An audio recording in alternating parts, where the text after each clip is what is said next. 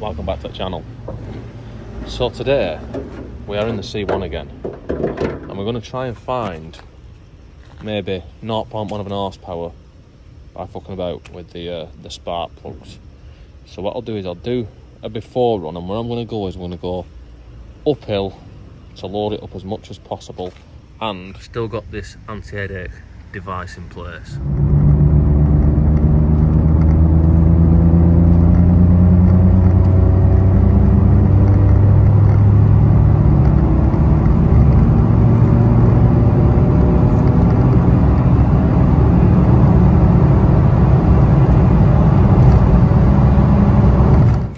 So with that um, third gear pull I've just shown you looks slower and less exciting than it otherwise would. That is the reason. So let's, let's get to the sparklers. We'll do one at once, nice and carefully.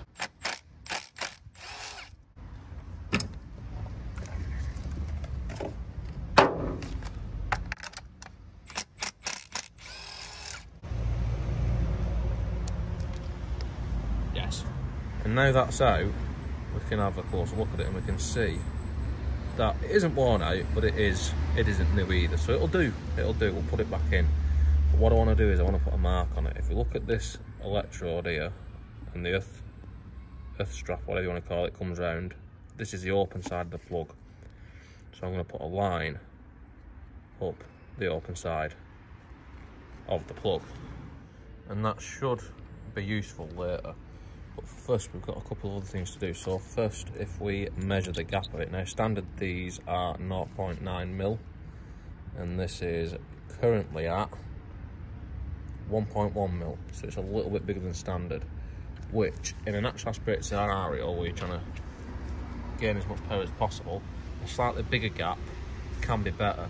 If you're in a boosted application and you're turning the boost whatever, it's quite common to close the gap because you can blow the spark out. But I don't think we've got much chance of that with this. So let's uh, let's modify this sparkler further. But first, let's see what the spark's like as it is. And that was harder to show than what I thought it'd be. But what I'm actually going to do is, if you see this this ground on this electrode for the spark plug, now what I'm going to do is I'm going to cut some of it off because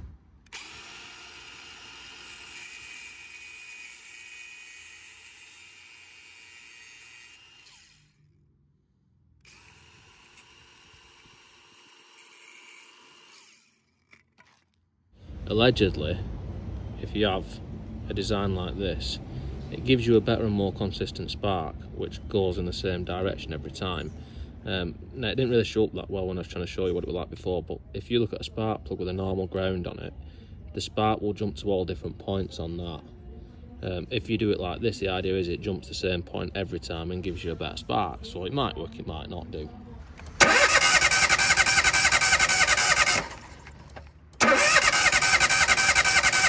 I don't know if that's any better or not. But this is apparently, or allegedly, NASCAR technology. Yeah. Woo! All right. Is this a NASCAR car you driving really fast? She like bad boy. Now, if you remember that red mark that we put on, if we look down there, we can see that even though I've chopped it off, the um, the earth is pointing over there, and we want it pointing over there. There's arguments to say inlet valves is better or the exhaust valves is better. There seems to be more to say that the inlet valves is better, so that's where I'm going to do mine. So that means now I've got to take it back out, and then I'm going to put a copper washer on it to shim it out. And then we'll put it back in and see where it ends up again.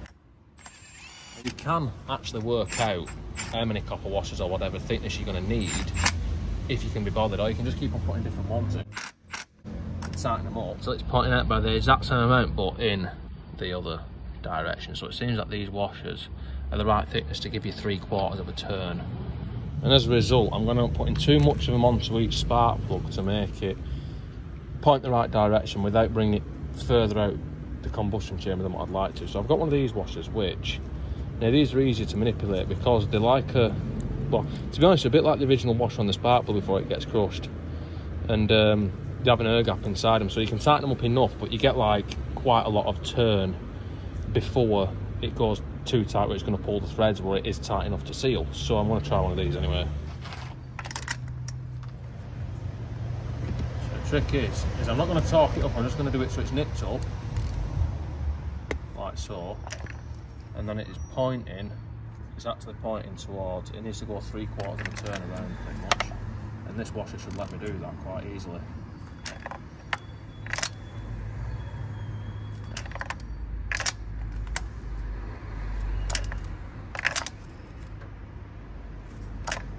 Yes.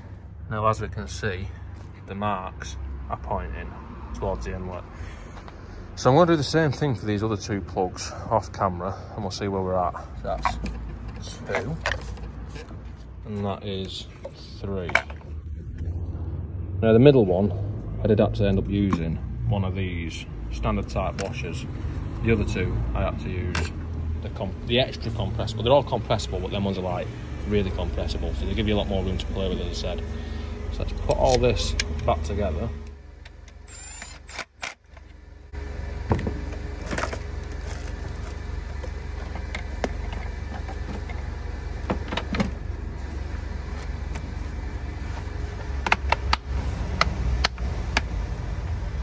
Now let's see if it actually runs. Yes,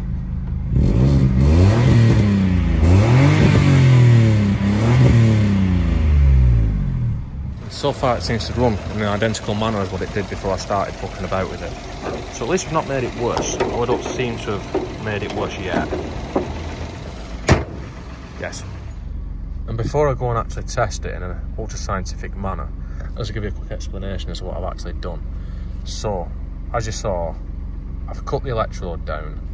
Now this is supposed to give you more consistent and better, stronger spark, whether it does or not, unsure. But it's rumoured to have been something that's done by NASCAR people. And as everyone knows, NASCAR is just as much or even more technologically advanced as to what Formula One is, obviously. Woo! Yeah!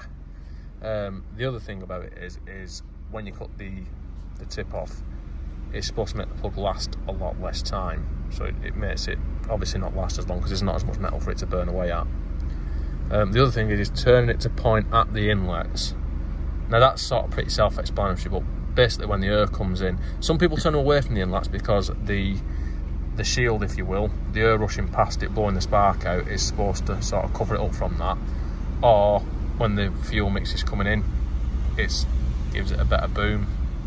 Whether it works or not, it seems to add a couple of horsepower and a dyno on something that actually has some power on this, probably nothing. But we'll find out, so let's go and see. And I can immediately tell you that, well, so far, when doing normal driving, feels exactly the same. I mean, it feels fast actually because I've been driving the Peugeot, so compared to the Peugeot, even this feels fast. But yeah, so far I've not noticed any difference.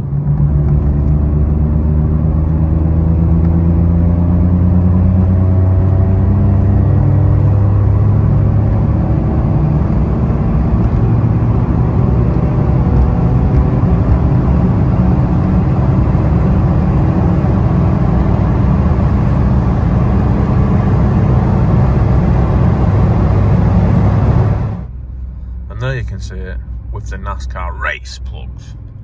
Um, it's not actually uphill. It's, it's, I went to the same place to do the same test, and it, it, starts off sort of downhill and going around a bit of a bend, and then it goes into uphill for the for the end of it. It's not all uphill that section, um, but I'll put the side by sides at the end and make of it or what you will. But now I am going uphill, and I'm in fifth gear, doing 30 mile an hour. And while it's not the most exciting thing in the world, it does seem a little bit less fluttery than what it did before, if that makes sense. It seems more comfortable at near tick over, you know, when you're pulling. Um, I didn't notice this at first until I tried it, and it, it is definitely it's, it's, definitely smoother at this sort of RPM range. I don't know if it's out and out faster. I haven't put the footage side by side yet. I'll do that at the end, and we'll see. Uh, and so make up your own mind on that. So anyway, that's going to be it for this one, I think. Don't forget to like, comment, subscribe. I'll see you next time.